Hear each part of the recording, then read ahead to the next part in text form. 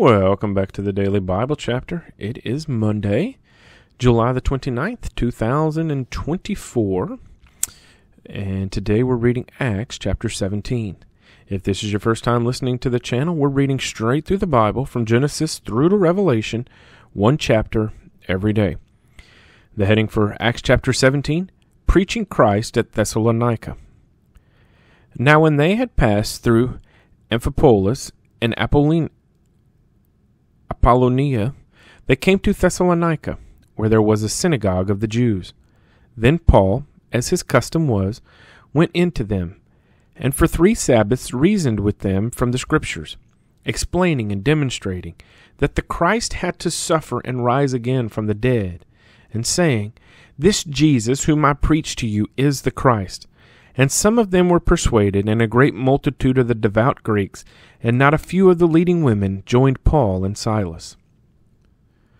But the Jews who were not persuaded, becoming envious, took some of the evil men from the marketplace, and gathering a mob, set all the city in an uproar, and attacked the house of Jason, and sought to bring them out to the people. But when they did not find them, they dragged Jason and some brethren to the rulers of the city, crying out, These who have turned the world upside down have come here too. Jason has harbored them, and these are all acting contrary to the decrees of Caesar, saying there is another king, Jesus. And they troubled the crowd and the rulers of the city when they heard these things. So when they had taken security from Jason and the rest, they let them go. Then the brethren immediately sent Paul and Silas away by night to Berea. When they arrived, they went into the synagogue of the Jews. These were more fair minded than those in Thessalonica, in that they received the word with all readiness, and searched the Scriptures daily to find out whether these things were so. Therefore many of them believed, and also not a few of the Greeks, prominent women as well as men. But when the Jews from Thessalonica learned that the word of God was preached by Paul at Berea, they came there also and stirred up the crowds. Then immediately the brethren sent Paul away to go to the sea. But both Silas and Timothy remained there. So those who conducted Paul brought him to Athens, and receiving a command for Silas and Timothy to come to him with all speed, they departed.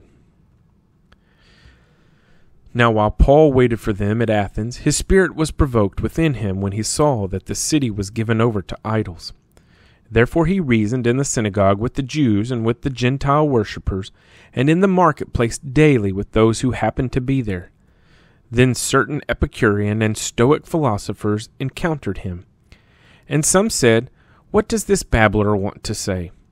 Others said, He seems to be a proclaimer of foreign gods, because he preached to them Jesus and the resurrection. And they took him and brought him to the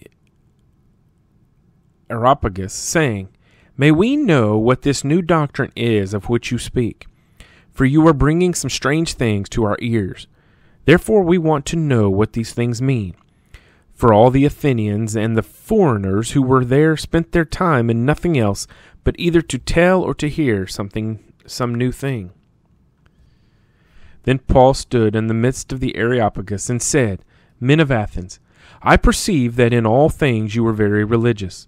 For as I was passing through and considering the objects of your worship, I even found an altar with this inscription, inscription to the unknown God.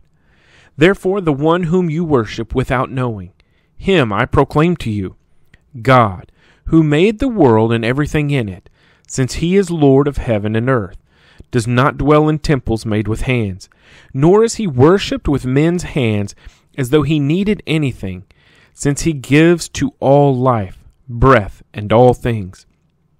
And he has made from one blood every nation of men to dwell on all the face of the earth, and has determined their pre appointed times and the boundaries of their dwellings, so that they should seek the Lord, in the hope that they might grope for him and find him. Though he is not far from each, of, each one of us, for in him we live and move and have our being. As also some of your own poets have said, for we are also his offspring. Therefore, since we are the offspring of God, we ought not to think that the divine nature is like gold or silver or stone, something shaped by art and man's devising. Truly, these times of ignorance God overlooked, but now commands all men everywhere to repent, because he has appointed a day on which he will judge the world in righteousness by the man whom he has ordained. He has given assurance of this to all by raising him from the dead. And when they heard of the resurrection of the dead, some mocked, while others said, We will hear you again on this matter. So Paul departed from among them. However, some men joined him and believed, among them Dionysius the Areopagite, a woman named Damaris, and others with them. Acts chapter 17.